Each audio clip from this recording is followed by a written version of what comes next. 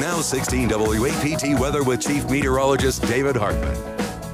Well, we got another disturbance coming in on Friday, so again, that'll be another chance of some showers and thunderstorms. Above average temperatures is the big story as we start the month of November. Low to middle 80s for highs. Lows will be down in the 60s. That could give rise to some morning fog. And remember, we fall back, go back to standard time this weekend. Look at those temperatures. I guess enjoy if you like warm fall weather.